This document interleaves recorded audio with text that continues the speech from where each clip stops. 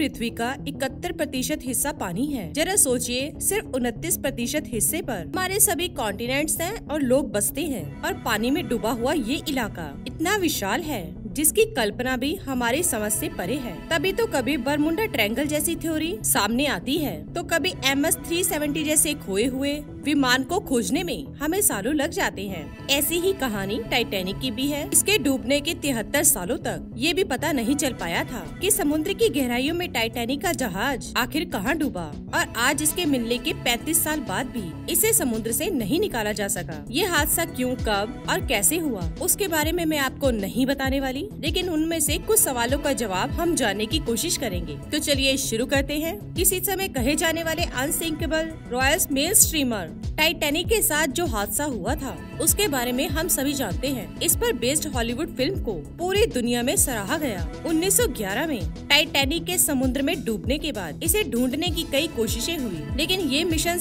एक के बाद एक फेल होते गए। इसी तरह तिहत्तर साल बीत गए और इसे सन उन्नीस सौ पचासी में मशहूर ऑस्नोग्राफर आर्कोलॉजिस्ट और अमेरिकी नेवी ऑफिसर रॉबर्ट बैलेट ने आखिरकार टाइटैनिक को खोज निकाला। टाइटैनिक का ये मलबा न्यू फाउंडलैंड के तट से 600 किलोमीटर दक्षिण पूर्व में मिला था। टाइटैनिक की इस खोज ने इतिहास के गर्भ से निकालकर कई नए सवाल दुनिया के सामने खड़े कर दिए। दो हिस्सों में टूटा हुआ ये जहाज़ समुद्र में 12,500 फीट यानी कि लगभग चार किलोमीटर की गहराई में मिला था। ऑफिशियल रिपोर्ट कहती है कि जब ये जहाज़ डूबा था तब ये इंटैक्ट था मतलब साबुत था। तो फिर समुद्र में ये जहाज़ दो हिस्सों में कैसे टूट गया? Titanic the new evidence documentary के अनुसार टाइटैनिक आइस बॉक्स से टकराने की वजह से नहीं, बल्कि शिप में लगी आग की वजह से डूबा था। दोस्तों, जब टाइटैनिक मिला, तब इस मलबे से जहाज़ पर मौजूद मेटल चीनी मिट्टी के बर्तन, जवाहरात और रियल वाइन जैसी चीज़ें तो निकाल ली गई लेकिन टाइटैनिक शिप को नहीं निकाला गया। उसके मलबे को आज भी पूरी तरह ऐसी रिकवर नहीं किया गया है। लेकिन दोस्तों टाइटैनिक के रहस्य की गुत्थी भी खुल जाती। अगर टाइटैनिक को पानी से निकालकर रिसर्च की जाती अगर ऐसा हो पाता तो टाइटैनिक और उस हादसे के बारे में और भी कई महत्वपूर्ण जानकारियाँ हमारे हाथ लगती। लेकिन दोस्तों टाइटैनिक को निकाला नहीं गया और इस सदी की सबसे रहस्यमय दुर्घटना का रहस्य आज भी रहस्य ही बना हुआ है। आखिर क्यों तमाम कोशिशों और लेटेस्ट टेक्नोलॉजी के बाद भी टाइटैनिक को अब तक पानी से बाहर नहीं निकाला जा सका? क्या टाइटैनिक को जानबूझकर नहीं निकाला जा रहा? और क्यों वो आज भी समुद्र की अंधेरी गहराइयों में दफन है? दोस्तों, ऐसा नहीं है कि टाइटैनिक को निकालने की कोशिश नहीं की गई। उन्नीस सौ पचासी में जब टाइटैनिक को खोजा गया था, तब इसकी हालत एक जहाज़ जैसी नहीं थी। समुद्र में दफन टाइटैनिक की इस पुरानी तस्वीर को देखिए। जहाज़ के नाम पर ये झरझर ढांचे से ज़्यादा कुछ भी नहीं है। दुर्घटना के चश्मदीदों के मुताबिक, ये जहाज़ समुद्र तल पर एक जोरदार फोर्स से टकराया था, जिसकी धमक वहाँ बचे लोगों ने महसूस भी की थी। इसलिए सीधे किसी केबल के ज़रिए या फिर ट्रेडिशनल तरीके अपनाकर इसे बाहर निकालना संभव नहीं था। ये चाय में ज़्यादा टाइम तक डूबे हुए बिस्कुट को उठाने जैसा था। ऐसे में सबसे पहला सुझाव ये आया कि समरी और मैग्नेट की मदद से टाइटैनिक को बाहर निकाला जाए। मगर इस प्रोजेक्ट के सामने कुछ हर्डल्स भी थे, जिनमें सबसे पहला था टाइटैनिक का वज़न। टाइटैनिक का वज़न एक लाख तैतालीस हज़ार टन था और ऊपर से वाटर प्रेशर जो वज़न को कई गुना बढ़ा देता। टाइटेनिक तीन हज़ार सात सौ पचास मीटर की गहराई में मौजूद है। पानी के इतना नीचे वाटर प्रेशर बहुत ही ज़्यादा होता है। इतनी गहराई में सिर्फ़ एक स्क्वायर सेंटीमीटर के हिस्से को निकालने में भी करीब तीन सौ बयानवे किलोमीटर का फोर्स चाहिए। तब ना तो इतने पावरफुल मैग्नेट्स थे और न ही इतना वज़न सहने वाली समरीज। इक्कीसवीं सदी की शुरुआत तक भी साइंटिस्ट के पास टाइटेनिक को बाहर निकालने का कोई भी ठोस प्लान नहीं था। पर वो इसके लिए कुछ अनयूजल तरीके सोचने में भी लगे हुए थे। ये तक सुझाव आए कि पिंग पोंग बॉल की मदद से टाइटेनिक को बाहर निकाला जाए। जी हाँ आपने बिल्कुल सही सुना। हम light weight ping pong balls की ही बात कर रहे हैं। कहा गया कि अगर टाइटैनिक को पिंग पॉक बॉल से भर दिया जाए तो शिप को पुश करने में आसानी होगी। मगर सुझाव देने वाले लोगों ने ये नहीं सोचा कि शिप रैक तक पहुँचने में ही ये बॉल प्रेशर की वजह से फट जाएगी। वहीं बैलून की मदद से भी टाइटैनिक को बाहर निकालने का एक वियर्ड आइडिया सामने आया। प्लान ये था कि हिलियन से भरे बैलून को टाइटैनिक के साथ बाँध दिया जाए और फिर वो शिप को अपने आप ऊपर खींच लाएँगे। यानी कि वो बैलून्स को हॉट एयर बैलून्स की तरह इस्तेमाल करना चाहते थे। लेकिन हवा में बात करना बहुत ही आसान है। ठीक वैसा ही जैसे उल्टे पुल्टे सुझाव देना। लेकिन जब बात होती है रियलिटी की तो हमें बहुत से सवालों का सामना करना पड़ता है। उन बैलून्स को अंडर वाटर पंप कैसे किया जाएगा? इसका जवाब किसी के पास नहीं था। बात फिर वहीं आकर अटक गई कि सवाल तो बहुत से हैं, लेकिन जवाब किसी के पास नहीं। इन्हें तिगड़मों में एक आइडिया ये भी आया कि बर्फ़ की डेंटिसिटी पानी की डेंटिसिटी से कम होती है। यही कारण है कि कॉकटेल्स और ड्रिंक्स में बर्फ़ पानी की सतह से ऊपर फ्लोट करती है। ऐसे में एक हौलाज कॉन्ट्रैक्टर अथर मिकी ने टाइटेनिक को आइसबर्ग में कन्वर्ट करने का सुझाव दिया। ये कहा गया कि मलबे के चारों ओर मौजूद पानी को फ्रीज कर दिया जाए। इस वजह से ये पानी के मुकाबले हल्का हो जाएगा और सतह पर तैरने लगेगा, जिसके बाद इसे किनारे पर ले जाने में आसानी होगी। कुछ ऐसा ही आइडिया अमेरिकन इंजीनियर जॉन पीरियस ने भी दिया था। इसके लिए उन्होंने लिक्विड नाइट्रोजन को इस्तेमाल करने का सुझाव दिया। आइडिया तो अच्छा था, लेकिन ब्रिटेन की industrial gas company POC group के एस्टीमेट के मुताबिक, इस प्रोजेक्ट के लिए करीब आधा मिलियन टन नाइट्रोजन की ज़रूरत पड़ती। सवाल तो ये भी है कि इतनी गहराई में लिक्विड नाइट्रोजन लेकर जाए कैसे? इधर उधर के सभी बिना सिर पैर वाले आइडियाज़ के बाद एक लेजेंडरी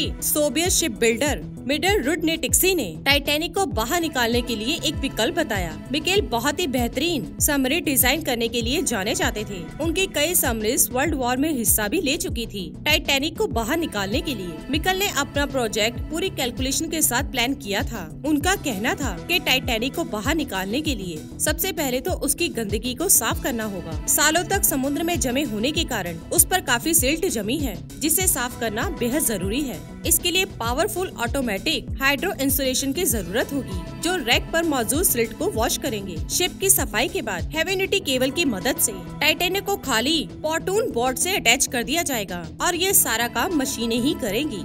इसके बाद अगला स्टेप होगा कि ऐसी समरिस की व्यवस्था करना, जिसके टैंक्स में गैसें भरी जा सके, अतः वो सेफ़ भी रहे। यही नहीं, इस तरह के ऑपरेशंस के लिए भारी मात्रा में बिजली की भी ज़रूरत पड़ेगी। मिकल के मुताबिक लगभग 20 मिलियन किलोवाट आज बिजली की ज़रूरत इस प्रोजेक्ट में पड़ेगी। इसके प्रोजेक्ट के लिए एक फुल फ्लैश पावर प्लांट की ज़रूरत होगी और उनके मुताबिक ऐसा पावर प्लांट पानी के सरफेस पर बनाया तो जा सकता है, लेकिन फ्यूचर के हिसाब से उसका कोई मतलब नहीं रहेगा। हालाँकि फ्लोटिंग पावर प्लांट अपने आप में एक अनबिलीवेबल आइडिया होता, मगर इतने गहराई में जाने वाली केबल्स प्रेशर की वजह से टूट भी सकती थी, क्योंकि ये सब पानी के चार किलोमीटर नीचे होना था। इसीलिए इंजीनियर्स का सुझाव था कि समरी में ही न्यूक्लियर पावर प्लांट इंस्टॉल किया जाए। इस पर तर्क वितर्क तो बहुत हुआ, लेकिन कुछ भी फाइनल नहीं हो पाया। और इस प्रोजेक्ट को तब तक होल्ड करने के लिए कहा गया, जब तक इसे पूरा करने के लिए एडवांस इक्विपमेंट्स और प्रॉपर बजट नहीं जुट जाता। कई सालों तक टाइटैनिक को रिकवर करने के लिए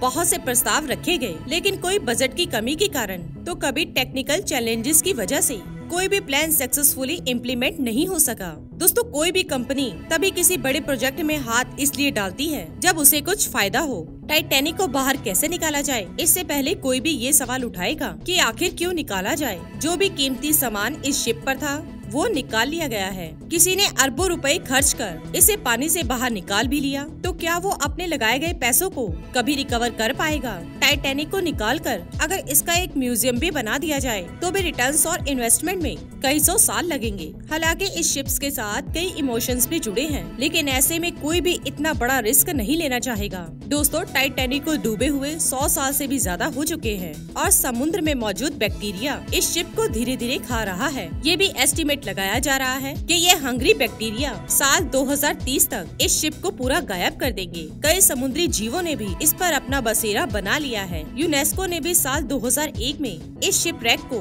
अंडर वाटर कल्चरल हेरिटेज की एक प्रोटेक्टिव साइट डिक्लेयर कर दिया। अगर वर्तमान की बात करें तो टाइटेनिक के हालात भी कुछ ऐसे बन चुके हैं कि उसे बाहर निकालने में जितना खर्च आएगा उतने में तो शायद एक नया जहाज़ खरीदा जा सके। इसलिए दोस्तों, सीधे तौर पर कहूँ, इन सभी बातों का कंफ्यूजन यही है कि टाइटैनिक अब तक बाहर नहीं निकाला जा सका और शायद कभी निकाला भी ना जाए। क्योंकि पॉइंट नंबर वन टाइटैनिक इतनी बुरी स्थिति में है कि उसे जरा भी छेड़ा गया तो वो धूल की तरह बिखर जाएगा। पॉइंट नंबर टू जहाज़ का मलबा समुद्र में कुछ ज़्यादा ही गहराई में है, जहाँ तक पहुँचना और काम करना बेहद मुश्किल है। और पॉइंट नंबर थ्री हम इसे बाहर निकाल कर करेंगे क्या? इसलिए ये कहा जा सकता है कि टाइटैनिक को शायद कभी रिकवर नहीं किया जा सकेगा। इसके मलबे की खोज होने के बाद तीस साल से भी ज़्यादा का समय बीत चुका है। यही नहीं कि टाइटैनिक के अवशेषों के पास अब बहुत ज़्यादा समय बचा है। मगर ये भी सच है, भले ही ये शिप पानी के अंदर से गायब हो जाए, भले ही इसका नामो निशान भी ना बचे, लेकिन फिर भी टाइटेनिक की कहानी और रहस्य आने वाली कई पीढ़ियों का ध्यान अपनी ओर खींचेंगी। इसी के साथ ही दोस्तों, अगर आपको ये वीडियो पसंद आया हो तो इसे आप लाइक कीजिए, अपने दोस्तों रिश्तेदारों के साथ शेयर कीजिए